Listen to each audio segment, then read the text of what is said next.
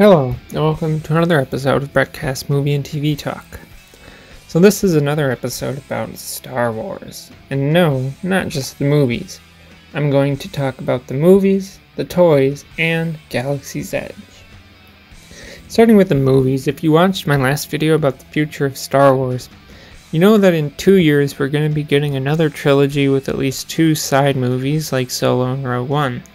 But what about the trilogy that just wrapped up? I find that not many people have many good things to say about it unless you're one of those die-hard Disney Star Wars fans and are just able to ignore the problems in the sequel trilogy.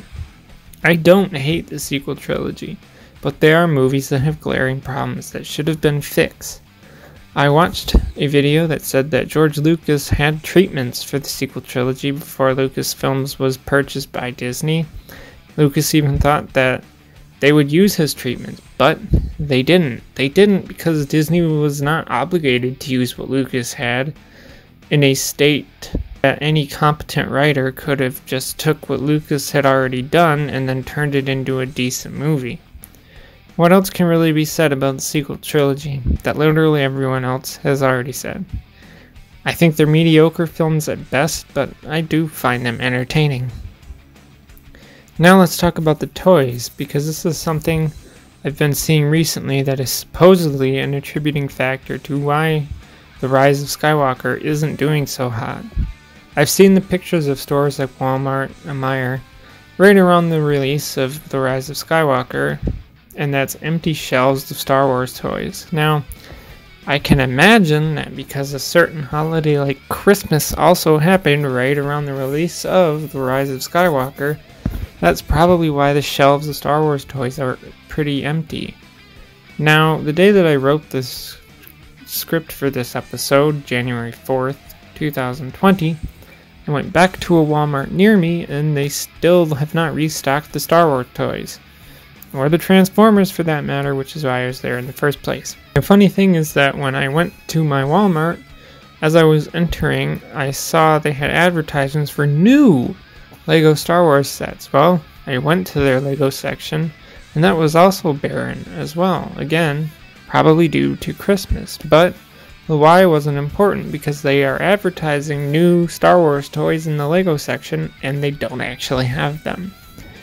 So, even though the biggest reason for the lack of Star Wars toys around this movie's release is Christmas, the fact that a week after Christmas some stores have still not restocked their Star Wars toys is also an issue, but I don't think the toys are why the movie didn't do so hot. I believe that was all the movie. Lastly, I'm going to talk about Galaxy's Edge, the theme park at Disneyland. I've been reading up and watching some things about this park and seeing that Disney is having some problems with it. They had a poor opening day, but all the big wigs are trying to say that didn't happen. On top of that, I've read the reports of employees getting their hours and wages cut because of the lack of attendance, which is sad. But mm-hmm. what's worse is what I have seen from the people who have walked through the park. My favorite one from a YouTube channel called That Star Wars Girl. Not because of what she filmed during her walkthrough, but because of what she said after, is all the glaring problems of Galaxy's Edge. So the first is that the setting doesn't feel like Star Wars because they just picked a made up location that was not a part of the Star Wars universe already. Well, okay, before that, we have to talk about the price just to get into the park. The base price for Galaxy's Edge is $150 per person. So for an average four person family, that is $600 just to get in the park. Let's add to that their custom merchandise that they advertise so much for the Droid Workshop and the Build Your Own Lightsaber. Droid Workshop is 100 bucks per droid you build, which adds another $400, bringing us to $1,000 for our mythical family of four. But to top it all off, the Build Your Own Lightsaber experience costs a whopping $200 per person, which adds another $800, bringing our grand total to $1,800 for the average four person family to get in the park and get the exclusive items and experiences as well. Going back to what that Star Wars girl had to say, there are so many gift shops selling toys. and not action figures. And the only ride is the Millennium Falcon Smuggler's Run ride, which Disney was expecting two hour wait times all summer, but you know, they were getting ha- less than half of that 30 minutes, maybe 45 minutes at the most. The real problem that she pointed out is that what you see in Galaxy's Edge is all sequel trilogy stuff. You have the Millennium Falcon, but no Han Solo, no Princess Leia, no Luke Skywalker, no Lando, Darth Vader, Yoda. I think you can see where I'm going with this. There was a Chewbacca, but how do we know it was really Chewbacca? It's a Wookiee with a bandolier. It could be any Wookiee. And I'm not just talking about the walk around characters either. I'm talking about in the merchandising of all these gift shops. You had to find a secluded spot in one of the larger gift shops that had like a replica of the R2D2 in there, but no C3PO. They had a shirt with that one uh, droid from Rogue One that was all about droid rights. Yet no Han Solo. They had like Vader on a mug and like a another thing. Same for Palpatine and whatnot. What is up with that? This park is too much about the sequel trilogy that they don't realize that most people coming here were brought in on the original trilogy or the prequel trilogy. Plus, all these other gift shops had like plushies.